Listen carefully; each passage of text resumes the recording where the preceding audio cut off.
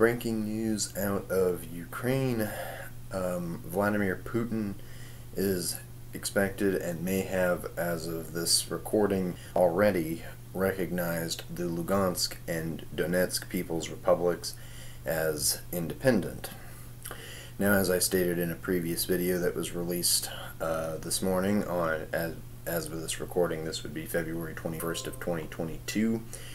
Um, I was stating how uh, Putin is likely to um, basically, if there is any sort of invasion by Russia, is likely to just invade eastern Ukraine, or at least Donetsk and Lugansk, and annex them as part of the Russian Federation, much like what he did with Crimea in 2014 and what uh, Russia did in 2008 with South Ossetia and Abkhazia.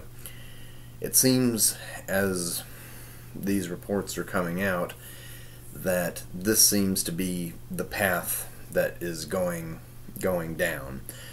Um, so again, uh, as of this recording, 11:35 uh, a.m. Pacific Standard Time, February 21st, 2022, Vladimir Putin President of Russia, has recognized the Lugansk and Donetsk People's Republics.